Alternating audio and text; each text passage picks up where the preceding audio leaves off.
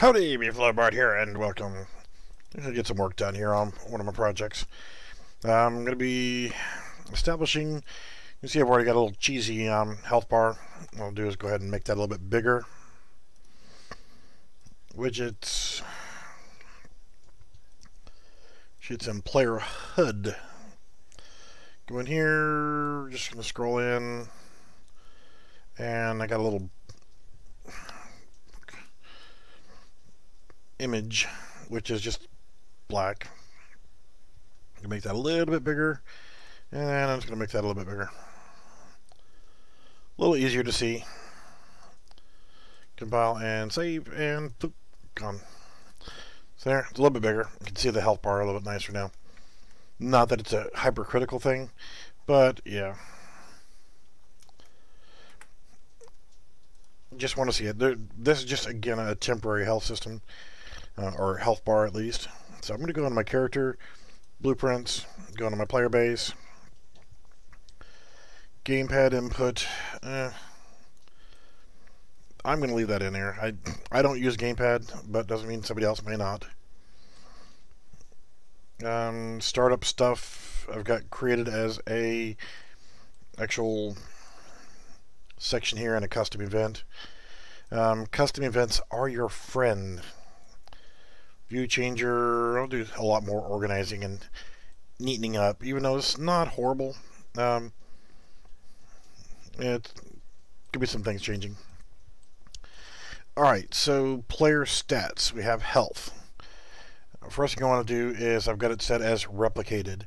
And that is so that when we start going into multiplayer, you're going to be able to replicate the, the health system and see a health bar and that kind of stuff. So that's done. That's already good to go.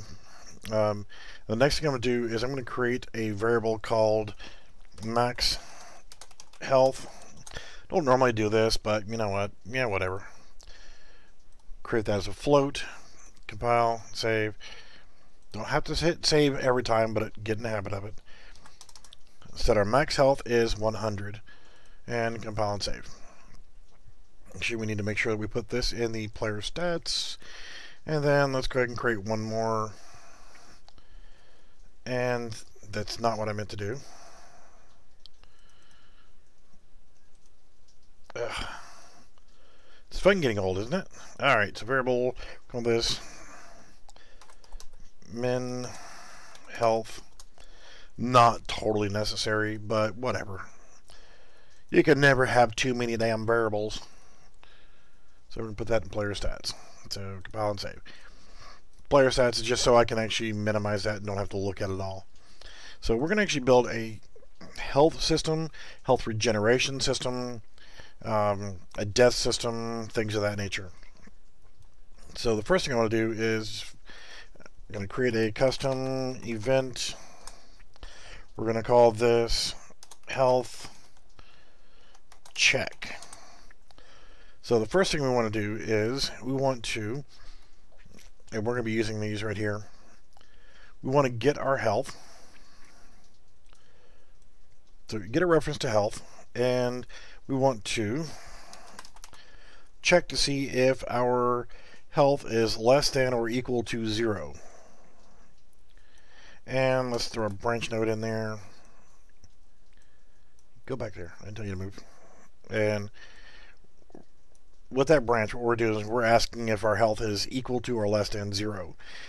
Um, we're going to add another one is dead. And we're going to change that to a boolean.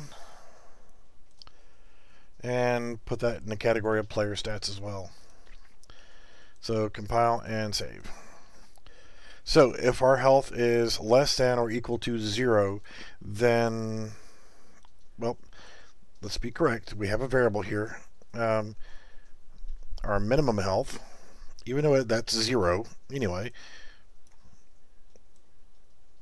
we want to check to see if our health is less than or equal to our minimum health. If true, then set is dead to true. That's going to come in handy when we actually put that into the animation blueprint. So, we're asking, is we dead at this point? All right, so tonight's drink of choice, Orange Crush. I know, big surprise, but with Alka-Seltzer cold formula, orange zest.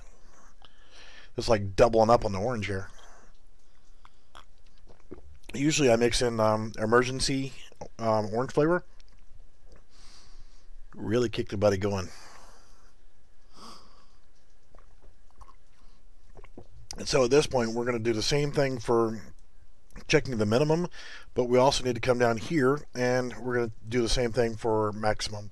So we're going to get um, a reference to our health and get reference to our max health.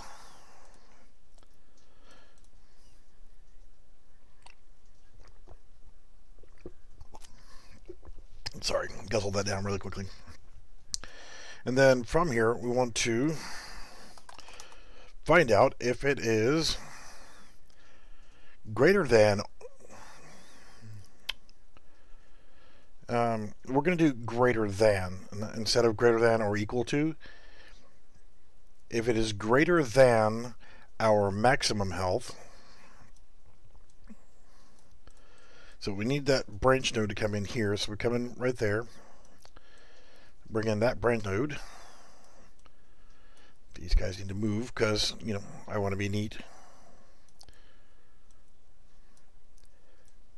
There we go. So we're going to go ahead and check to see if our health is greater than our maximum health.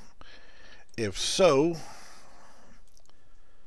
we also need to do this as well. We need to bring in here and we need to set health to zero or we can drag in our minimum health. We don't have to drag in so many of them. We could have drug it off of there, but I just kind of want to make it a little bit neater. Set our health to our minimum health and set is dead to true. So that's what that's going to do is this is going to bring us into our death se sequence. But we need that variable there. Again, we'll get to that shortly. So now we're asking, is our health greater than our maximum health? If so, then we want to and you can hold down the alternate key, left click and drag in to set health to control left click drag in that so we can get get a get there so we're going to set our health to that this is just checking our health um, we don't actually need that in there but we're going to use it. We're going to make it work. So again, all we've done here is we've created a health check system. And this health check custom event, let's go ahead and compile and save, is we're asking if our health is greater than or equal to. I'm kind of doing a twofold here. Um, I'm asking it if we're at zero or below zero, we're going to be dead. But we also need to set it to zero for our minimum health. Same note here, or a similar note here, we're going to ask if our health is, is greater than our maximum health. If so, then we're going to set it to what our maximum health is. So we're not going to go below zero and we're not going to go over 100. So this is just going to be our health check system. And I'm going to go ahead and highlight that and health check. And since this is dealing with health check system, I'm actually going to go ahead and get the red color. So we're going to do one, zero, 0, and 1. And I'm going to drag this up here because I want to save that color. And then select OK. Now, anything dealing with health and damage and that kind of stuff is going to be in red. That way I have a quick reference to it. So now I can compile and save. Health check is done. Now, we're going to run a death system. And I may end up putting that custom event right there. So in our death, we're going to do custom event. We're going to call this death. And there's a couple reasons why I'm doing it in a custom event as opposed to in a uh, function is because if I want to run a delay, you can't put a delay in a function, and it's just stupid. Um, so death, we want to get reference to is dead and a branch node. So we're asking, is we dead? So our previous health check system is, is something we're going to throw that custom event in uh, to check our health. And we're going to incorporate that here shortly. So now we're just going to ask, are we dead? If so, then we're going to run a bunch of other stuff off of here at some point. We're not going to do it just yet. So we just needed those two done. And I'm going to come back to death but I'm just going to drag it over here just to get it out of the way. And then we're going to come back over here and we're going to do something else. We are going to get event any damage. Okay? From event any damage what we're going to do here is we are going to get our health. And we are going to drag out from there the minus key, float minus float. We're going to drag this damage to here. So if it, any damage, man, there's a lot of sirens out there. So what that's going to do is it's going to check and it's going to apply the damage to our health. And then we want to do our health check here. So we need this in line with doing our damage and it's going to point us into our health check system over here and it's going to set our health. So we need to grab our health again and we're going to alt left click drag it in set health there and there and we're going to drag from here to there. So that's going to set our health. When we take damage, it's going to apply that. Our health check system. And we can actually come back over here and now put in the death functionality because we've already established now that we're, we're checking our health and if it actually shows that we're dead, we can run things off of that. Okay, so this event any any damage is going to handle all of our health check situation for taking damage.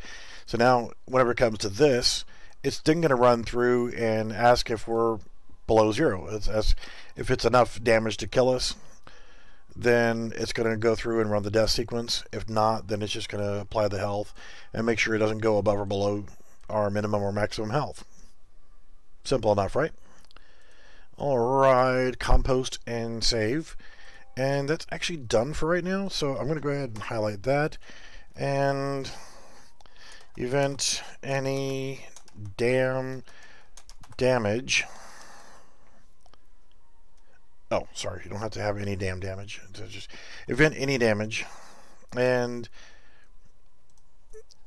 I'm going to go back here since this is dealing with health. I'm going to go ahead and use that color and there we go.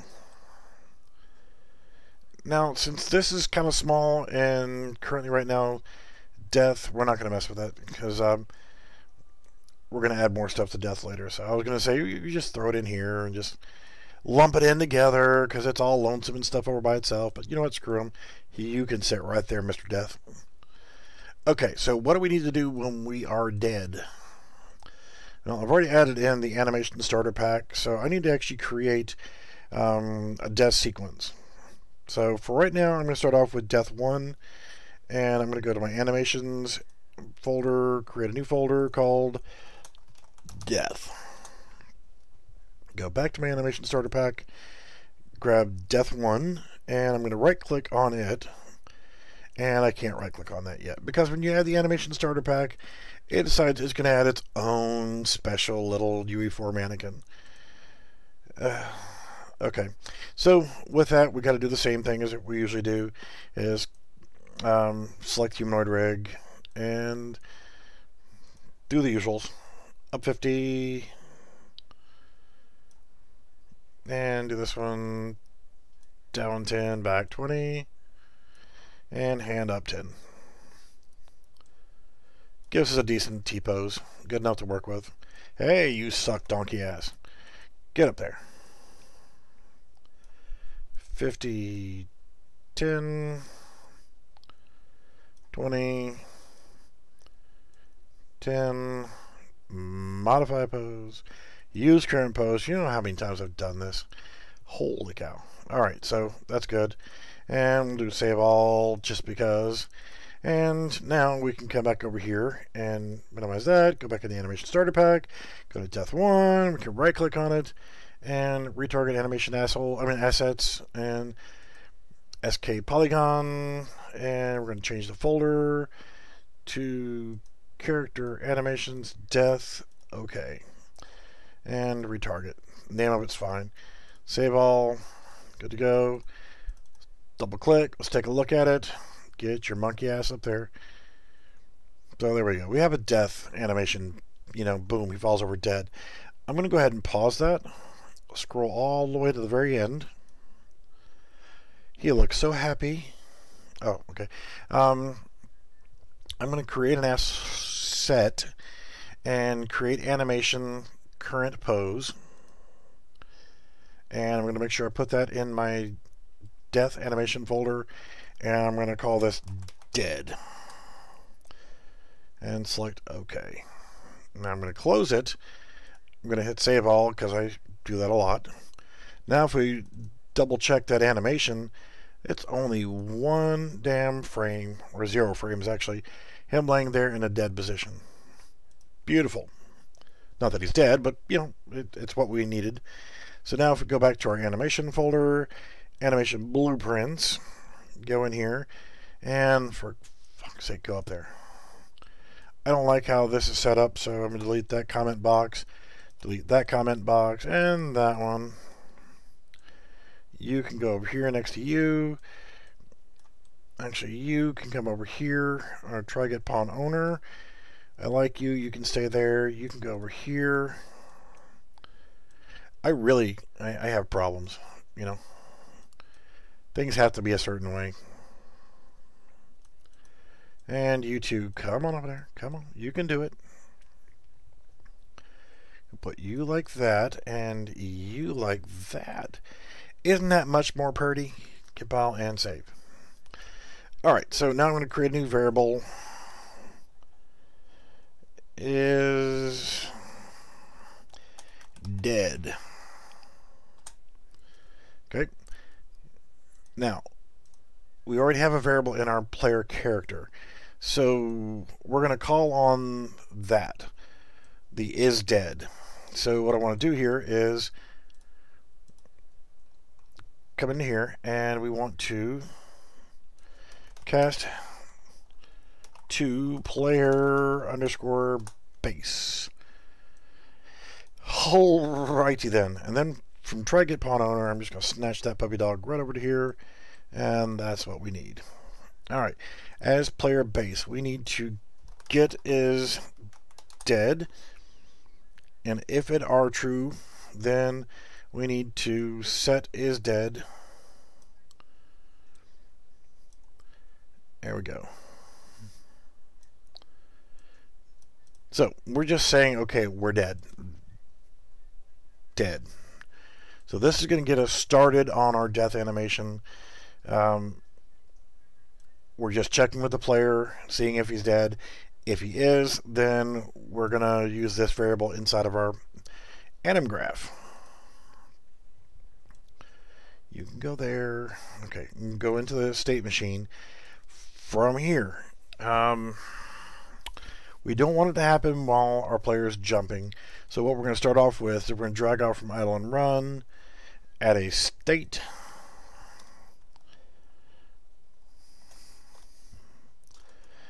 begin to die. And we're going to go here and how do we enter this transition? Because we is dead. Okay. Go back in here and What are we going to do when we is dead? We are going to play death. One. Link that to here. And now we're going to come back. After we do our death animation, we want to go to the dead animation. So, dead. We is dead. So I'm going to link that one over to here. How do we get to this transition? Well, we'll get to that in a moment. So dead, we need to grab our dead animation. Connect that into here. Go back to our default. To get to that transition, we need ratio or time remaining ratio for death 1. So for that death animation, we're going to get that and we're going to do float is greater than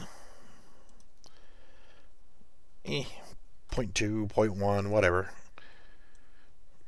So this is going to say, okay, when we're done doing the animation of death, we can then start doing the dead animation.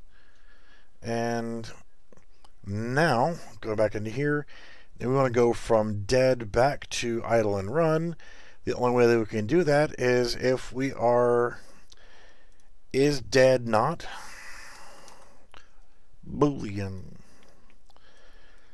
So the only way we can not be dead is if we not is dead, right?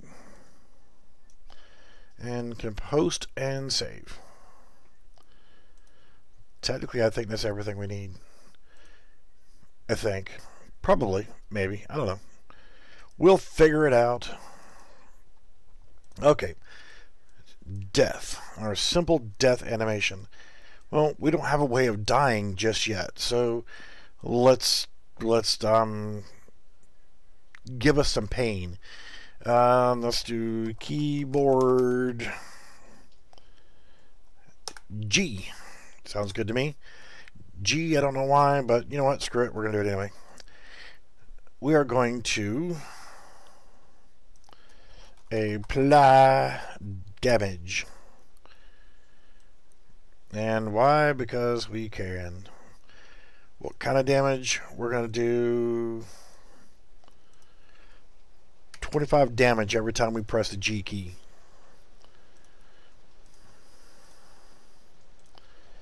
Alright, so we're running around, we're all happy. Hit G. It didn't work. Okay, so, um...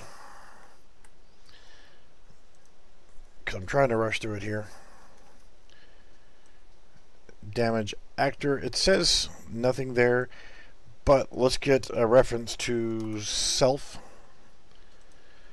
Just see if that helps. So, damage. Okay.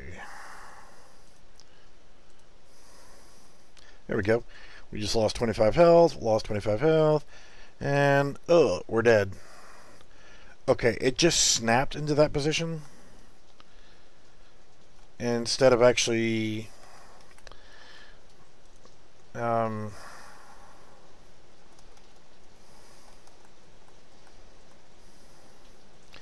Instead of doing the animation. So, um, let's actually look, see if we got everything correct in here. Replatter damage, and health check. That is linked up. Kind of hard to see the red lines there because this is red, but it any damage, it's setting our health, and then running health check, and setting death. Set is dead. Um, we don't really need that because we've already said set is dead the true and death. So, um, I'm going to do another key right here. Keyboard R for respawn. And that's just going to be go to player stats. To set is dead to false.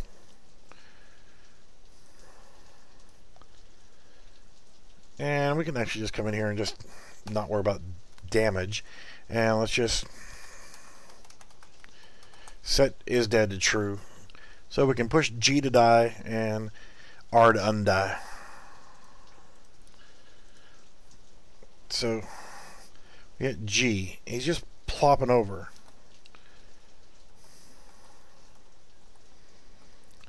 He's not actually doing the animation.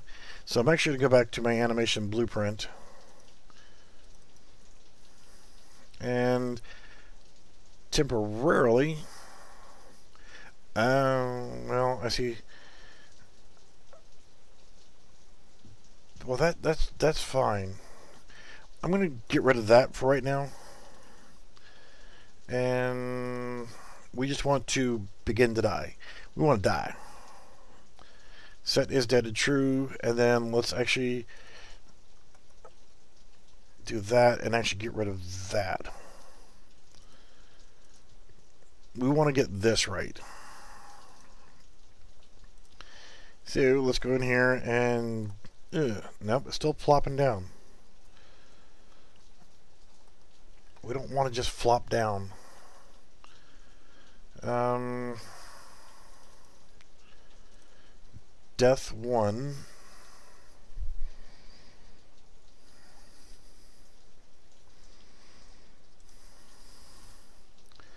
Is dead to true goes into this. Well, let's let's back it up. Let's keep backing it up. So this is all we have. and we just want to do the animation. Okay, and it's going to loop because we don't have anything else after that. So, no problem. We want to go from begin to die to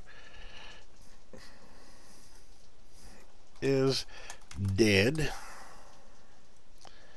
And the way that we get to that transition is we need the time remaining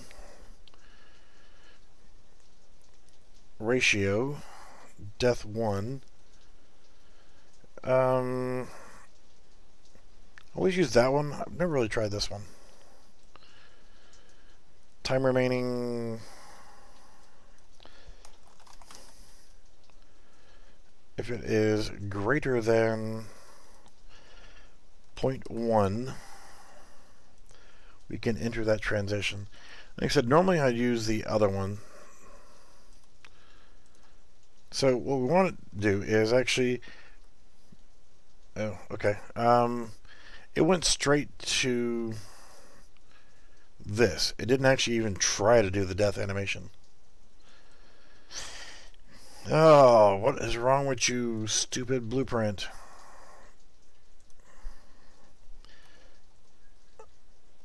See, he just went straight to flopping over being dead. We don't want that.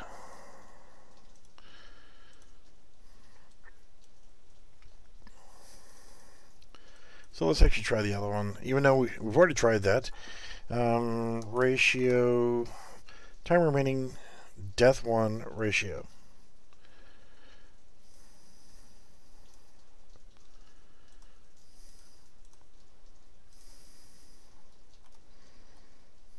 Nope, still doing the same shit. Alright. Um, they didn't notice is do that. I'm not worried about that. The, the health bar right now, but it's just going straight to that. I had this problem earlier, and I fixed it and forgot how I fixed it. So, just one of those things. Because going back from dead to normal doesn't really matter all that much on how the animation looks because we want it to be fast. Not boolean. So if we're not dead, this is why we have the R key right here. So I don't have to keep hitting escape. I can die, respawn die, respawn. And I'll actually come back in here I'll fix the animation part. So the next thing we want to do when we die, we have to stop our player from moving because that's just not right.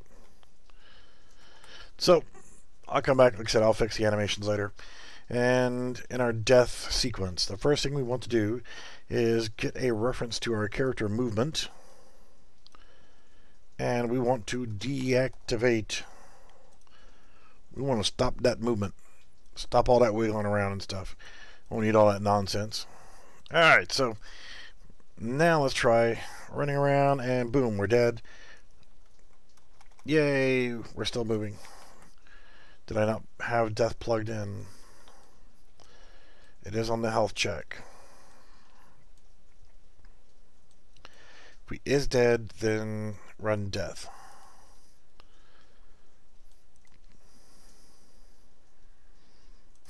okay. I did the same thing in a video earlier and it was working just fine.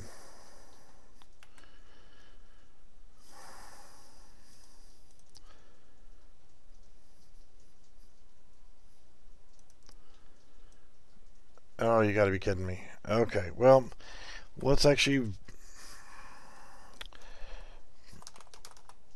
make sure that it's actually getting to this point because it's not it's not stopping the movement. Yeah, see, it, it should say hello whenever I, I go through the death sequence. So um, it is not seeing that uh, because I, I'm I'm actually going straight to dead here. I'm just setting is dead to true. For some reason, it's skipping through all of that on the health check because I have it set for checking for damage. So that's why I ended up I had this thing earlier was any damage. Um, let's see, event any really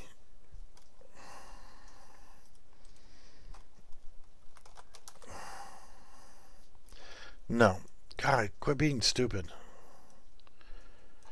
Alright. Apply damage. Ugh. And what we're going to do here is get a reference to self. So we are damaging ourselves, and we want to do 150 damage. More than enough to actually kill us. So now if we do this and hit G, you see our health bar went to zero. We are dead. Hit R, we need to make sure that um, respawn on our respawn system. We go to that. So bang, we're dead. See it said hello.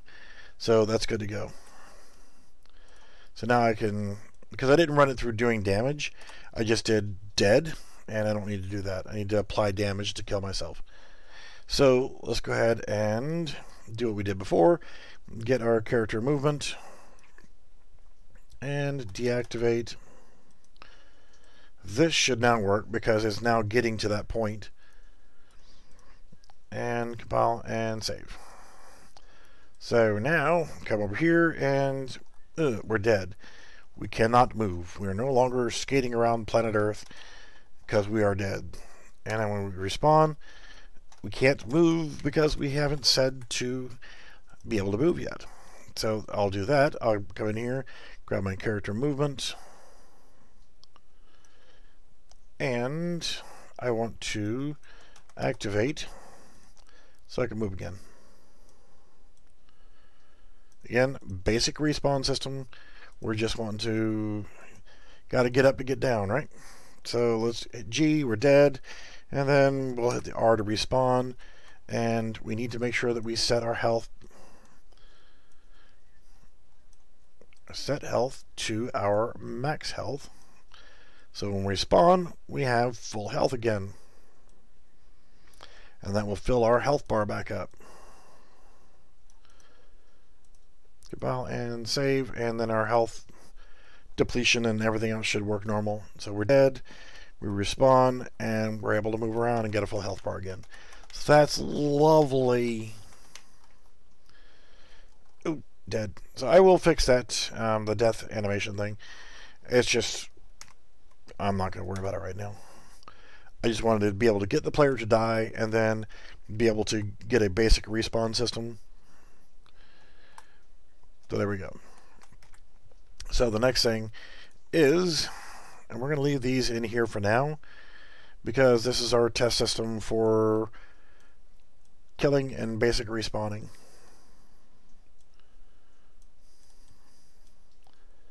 And our death sequence,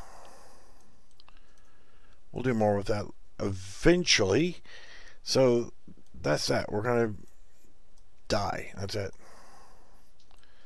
Um, if we want to, we can set this as a um, delay and put this in for five seconds. So after five seconds, we can then set is dead to false and set our health back to max health. So this will be an automatic respawn now. And we're going to add to that. So, ooh, we died. Can't move, can't do anything.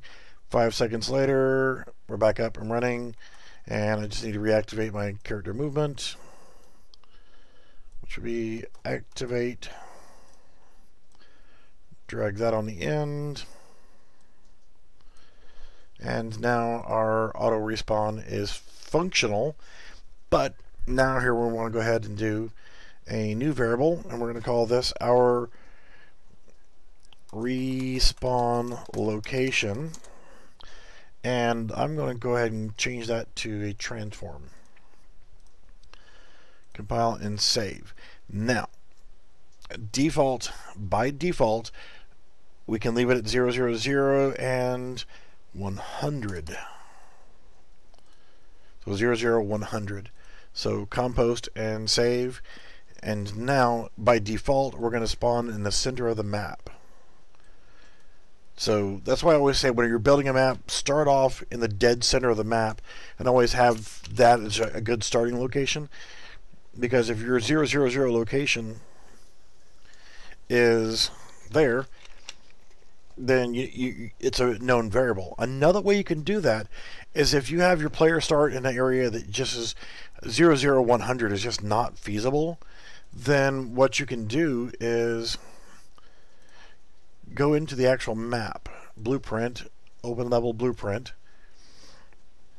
okay, and carry your ass up there.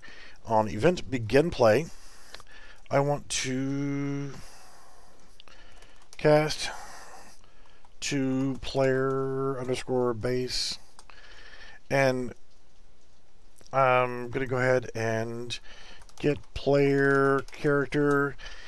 What I want to do is I'm going to go into here and I know that this is where my respawn is where the player start is. This is the default starting location. When you pop that guy into the map that's where your, your, your initial spawn is and I can see that this is and let's try it at 100 and verify that we're not going to fall through the world. Okay. So if we click on our player start, we have negative 700, 0, and 100. So now we can come in here and we can do it a couple different ways. We can get a variable and default spawn. We're going to make that a transform compile and save. Okay, so now we're going to grab that default spawn, drag it in here, and we're going to come over here and get respawn location. No, we want to set respawn location. So we're going to set our respawn location to our default spawn of the map itself. Now our default spawn location, we need to go ahead and set that in here. We know that that was 100 and this was negative 700. Damn, why don't I just start getting frickin' old and start whistling whenever I talk? Because that would be frickin' awesome, wouldn't it? So now if we hit play,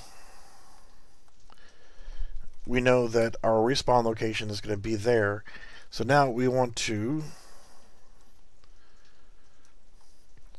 before we activate our character movement again, we want to go ahead and move our character to the new location. So let's set actor location and rotation. All right, lovely. And let's go ahead and get our respawn location. And we want to break that. Break it up. Break transform. So now we do the break transform and let's give us a little bit more room so we're a little bit neater. We can get our location and our rotation. Yay. So now we're going to get that respawn location. No matter what map we're on, now whenever we load into this map and we have this set up in our map blue, uh, blueprint, by default, we will always have a respawn location so that if we die, no matter where we are on the map, if we die, our respawn is always going to be back to the original spawn location and the same orientation.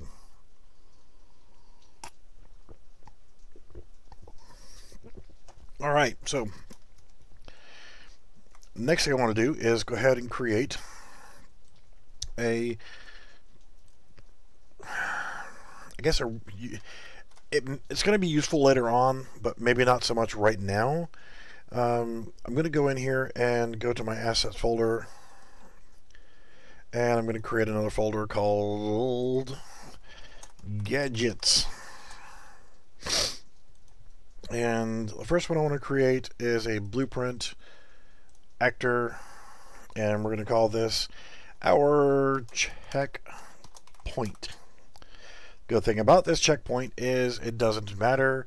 You could put 47 of these into your map, and it won't matter because that checkpoint will automatically update anytime it's needed. Whenever you step on a checkpoint or you, you cause that trigger to happen, it's going to work. So add a component. Now, not necessary, but again, I like to put in a cube.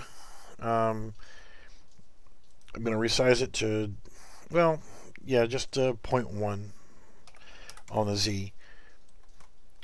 Just a little small thing like that. And then I'm going to come in here, add a component of a box collision. And that box collision, I'm just going to go ahead and go 1.5 by 1. Point, damn it, 5 by 0.25. And I just want to put that right there. So as soon as we overlap onto this, we're going to set our, our, our spawn point. So, oh, cool. Yeah, go away.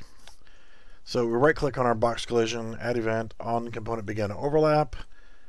We want to do these from other actor cast to player underscore base. And when we do that, we are going to set respawn location to there. It's complicated, I know. If I want to be a jackass, I can just do this also. Delay. And I'm going to take this back out. I'm just being goofy for right now. Two seconds later.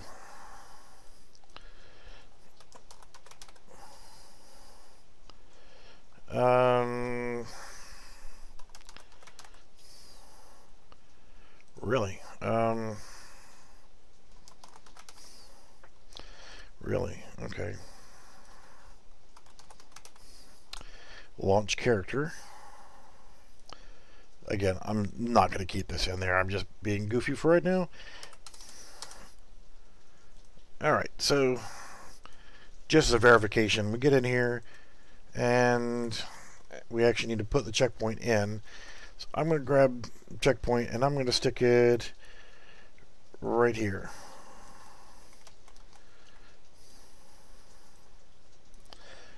And I'm going to stick another one right here.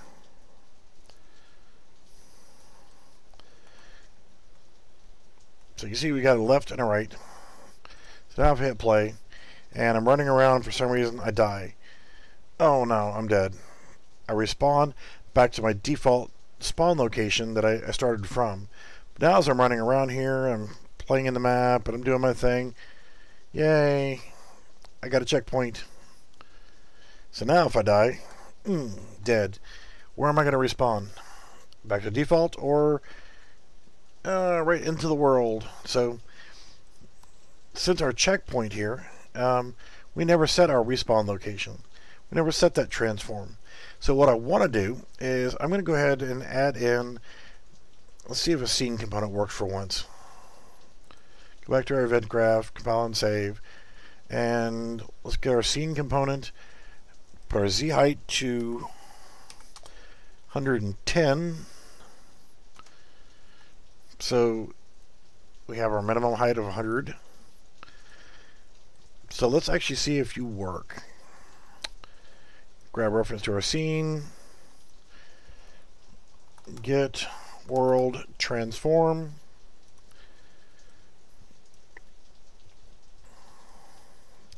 Now you could actually use an arrow, which would probably even better because you can set the direction of which way you want your player to be facing when they respawn. But this will be good enough for now. Hopefully you will be able to come over here and do this. And we know that we are working. Now if we die, where's our respawn location going to be now? Yay, in the right location.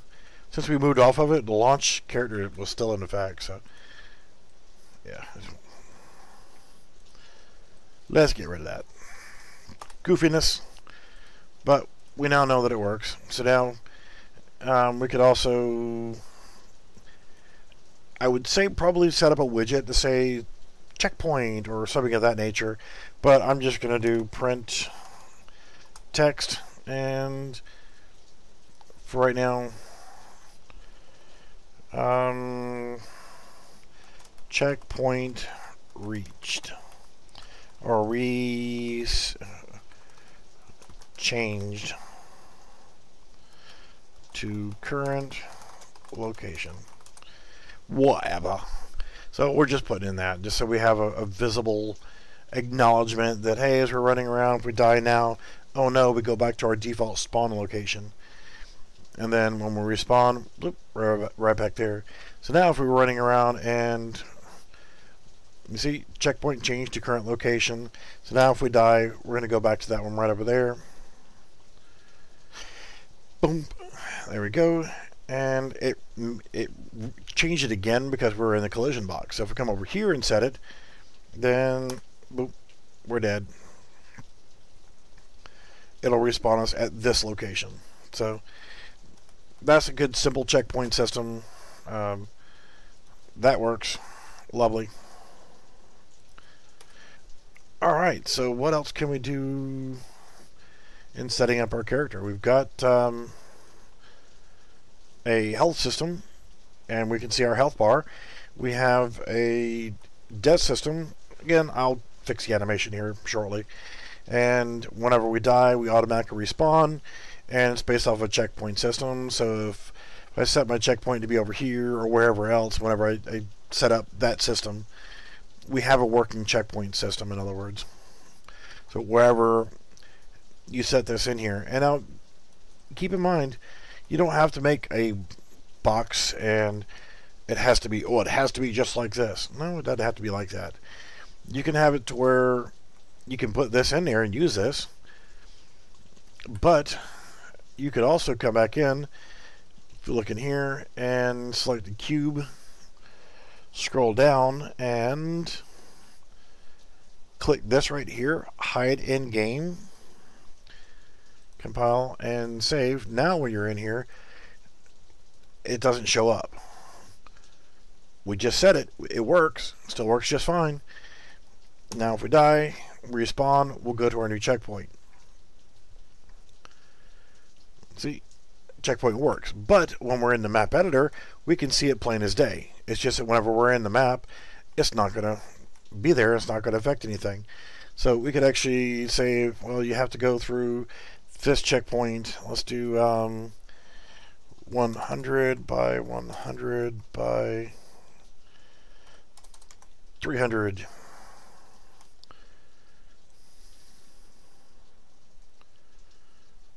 So we have a visual reference. Hey, if you make it to this point here, you've made it through the checkpoint. So if you're doing a jumping game or anything else, you know that when you go through there, boom, checkpoint. If you want it to be more evident and sounds and whatever, I mean, you could add sound effects to it. You could add particle effects to it. Um, anything. I mean, I go into my effects right now, and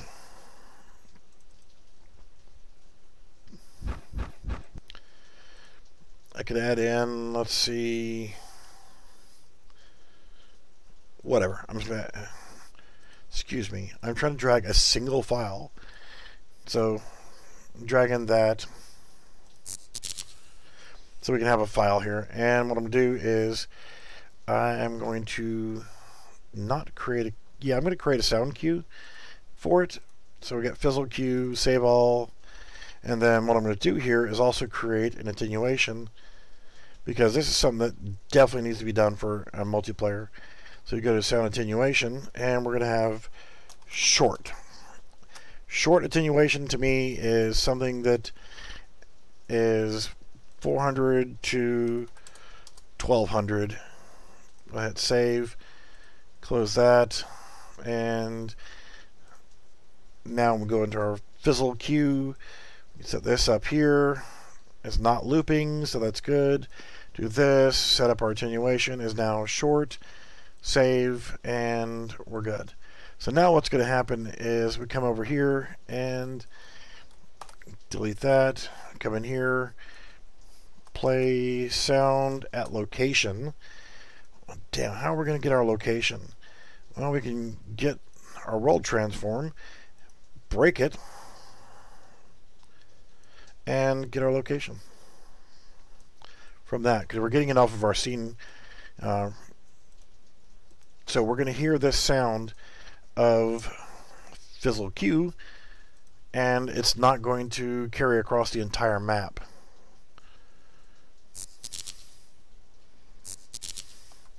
So we, we pass this checkpoint. Bum, bum, bum, we just made a checkpoint. But somebody five miles away is not going to hear the damn thing. So another thing really quickly, and it's very important for a couple different reasons and very useful for a lot of different things. We're going to, yeah, let's go ahead and create a new blueprint actor, and we're going to call this teleport base. So this is just going to be our base system for a teleport, and again, I'm going to go ahead and start off with a cube and we're going to do 0.1 we're going to add a box collision. And the box collision we just want to go ahead and size it. 1.5 by 1.5 by 0.25 we don't want to get too carried away on the size of everything. So when we trip this. This is going to be our teleport system. And we're going to delete all that stuff. Right click on our box collision add event on component begin overlap. As soon as we overlap it it's going to hell let's make it um, cast to our player. And that's going to be our trigger. So if an NPC walks over it's not going to affect him whatsoever. Let's go ahead and place out at location and we're going to do a couple different things here. I'm going to add that same fizzle cue in just for the heck of it. We're going to add in a variable and we're going to call this our um, return location. Okay, and we're going to set that as a transform and I'm also going to go ahead and compost and save. And I'm going to add an, a component of an arrow. Now the arrow itself. I'm going to come in here and I want that for sure to be at least at 100 so that we're going to do that. And with the arrow we're going to see a visible arrow. Now what I want to do here is I want to go ahead and doesn't matter how I have it set for rotation right now. But I want to go ahead and move it off of the actual teleport pad. Because when we come back we don't want to automatically just teleport back and forth back and forth back and forth back and forth. We want to return location. So I'm actually going to put this at 100 let's do it at 150 it's not something that I would normally do I would set up a separate system for returning but what I want to do is set this up as a return location so go in here and I don't need a checkpoint anymore. We're going to need the player base here in just a moment. So get our return location. Um, I'm also going to get the a reference to the cube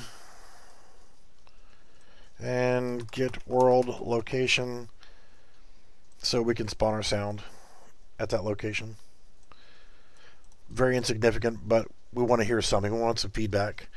Um, now, our return location, can't talk. We want to get a reference to that. And what I want to do is get a reference to the arrow. And actually, we don't need that. We need the arrow. Always thinking of trying to be neat and organized. And we need to set return location. That'll be up here. And we want to get the arrow, get world transform. So we want the transform of this guy.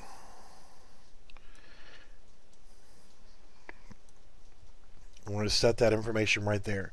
So what's going to happen is now when we go to set this into our level to start off with, I'm going to go ahead and drag teleport base in here and I'm going to leave him visible. So I want to see it for right now just because we're testing it. So you can see I've got an arrow. It's actually setting up my teleport coordinate of where I'm going to return back to is right here. Okay. Now, where do we want to teleport to? Let's teleport to right here and now we have a return location. Um, let's go ahead and we want to teleport to here but then we're actually not going to be able to return because we don't want to have our landing also a teleport so we're actually going to go ahead and put it over here so we actually have somewhere else to land. So screw it, let's go ahead and let's just make a 100 by 300 by 10 just a little platform whatever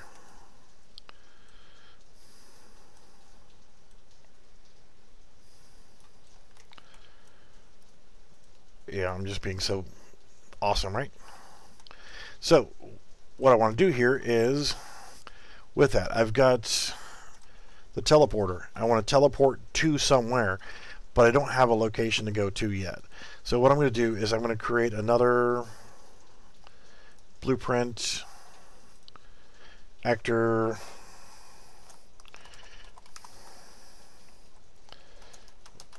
landing base. I'm just going to add base on there just because if I want to duplicate or whatever else. So I want to add a component. Let's go ahead and put a screw it a cube just like before. 0.1 compile save and what I want to do is put my landing pad here now what I've done is I have this location is where I'm teleporting to and I just need to know that I am adding 100 to this number okay? So in my teleport base I'm getting my world location of where I am now essentially and I'm setting that as my return location. And we can go into our player and let's create a new variable TP return location transform already so that's good so TP return location we want to teleport base we want to get in here TP return location we want to set that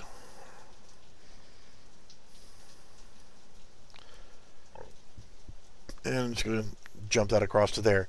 So now we have our return location set in our player for our TP return location. So with that TP return location, and whenever we go to our next teleporter, it's going to actually tell us where to go. So teleport base. Um, the reason why we had the teleport landing place is so we can get our information for our teleport. So we know that it's uh, 455 so what we're going to end up doing here is we need to go from player base.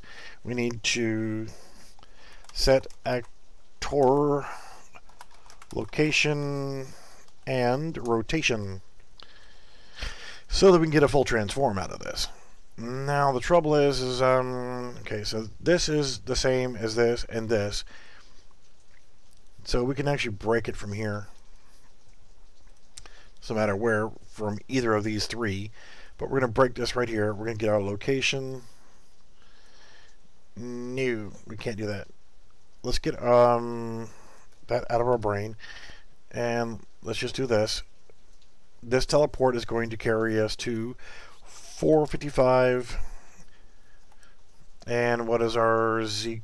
Uh, uh, it's 50 and 405. That would be 50 and 405. So this is going to be our teleport to get us to that location. So if we just go ahead and play, as we're running through here, it teleports us to this location. And now we can actually go over here and I'm going to go ahead and duplicate the teleport landing base and TP return. Now, as you're doing this with just one teleport location and, and a return, it's no problem. But what's going to happen is it'll get more complex as you go through. You'll start setting up data and everything else. Let's go ahead and add our component of our box collision and we need to make sure we resize that 1.5 by 1.5 by 0.25 and in our event graph. Compile and save. And on component begin. Overlap. Now we can actually copy in. We don't need that one anymore. We can copy in some of the same stuff here. Um,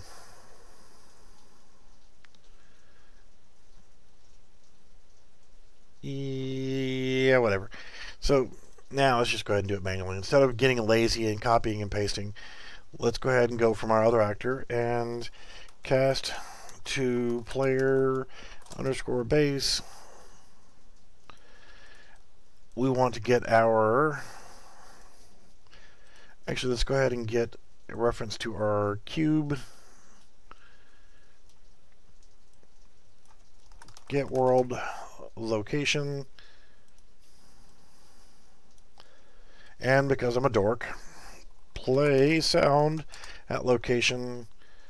And you suck donkey nuts. Get back where I had you.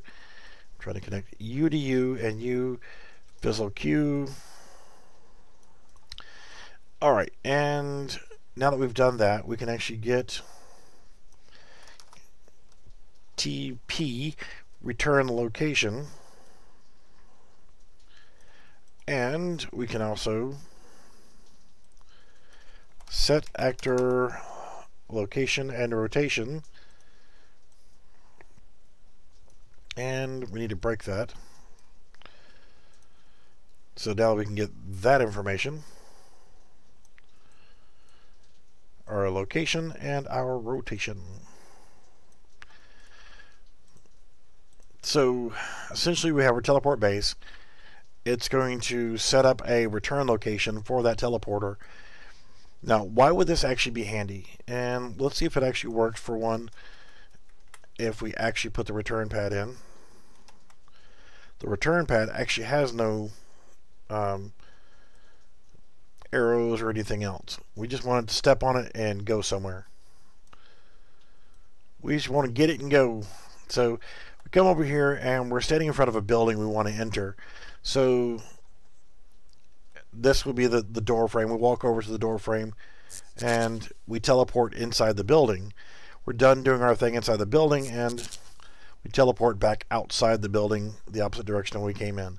So we come inside. Oh, look. You know, we could set up an, the return, the TP return, the, an arrow as well so we know which way to face. So let's actually do that. Might as well. Whatever, you know. Um, and the TP landing.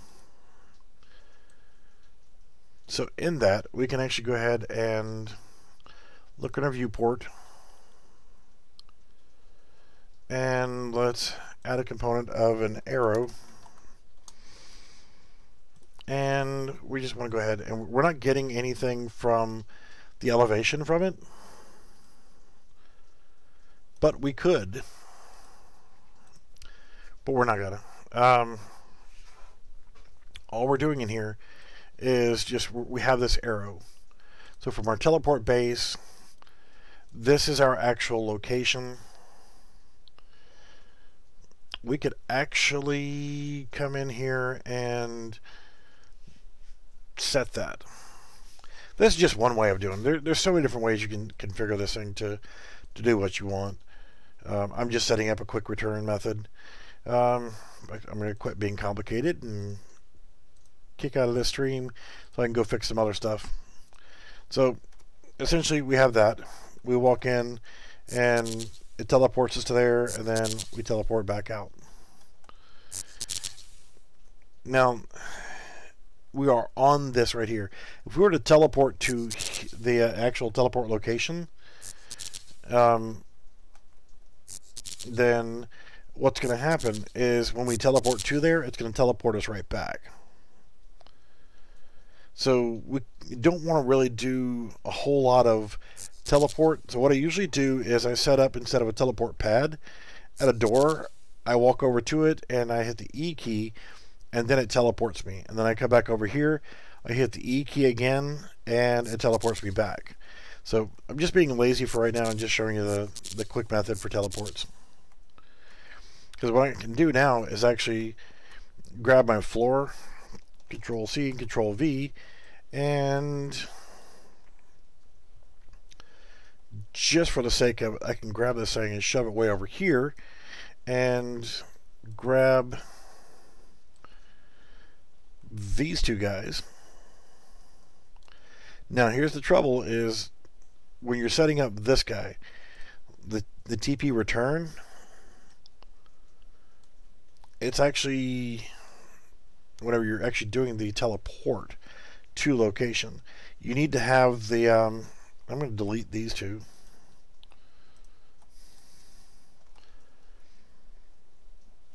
And get this teleport landing base. And again this is where you're going to actually have to get these coordinates when you're setting it up. And I would actually set this in a data or a structure system so you can store all the, the data for it. So now I can grab this arrow, the arrow from that, or just grab this information. I'm set on zero. So I can actually, mm, I don't think it'll let me copy it here, but um, I'll grab this information, Control C, and go to my teleport base and set that information in there. You can store stuff in a structure that will allow you to, um, we'll do 110 there, and we'll do zero there.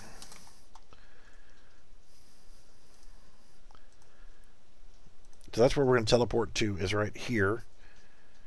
And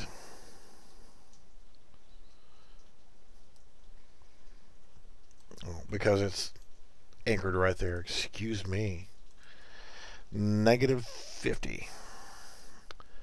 So compile and save. We're setting that teleport location to where we're going to teleport to. And then we have a TP return, which I will put right there. So come over here and hit that TP, see we're over here now, come over to that, and we teleport back. So that are that. Um, again, like I said, when you're setting up buildings that don't have an interior and you want them to have an interior, or if you're setting up a hotel and you have 500 rooms and you don't want to make 500 rooms, you don't have to. You walk in front of the door, hit E to enter the door, and you teleport to a new spot somewhere else on the map that's actually the interior of that room. Yay! And then when you're ready to come back out, you stand in front of the door again, you hit the E key, and to teleport back. Simple enough. All right, good enough, close enough. And I want to thank everybody if they were bored enough to watch me, and we'll see you later.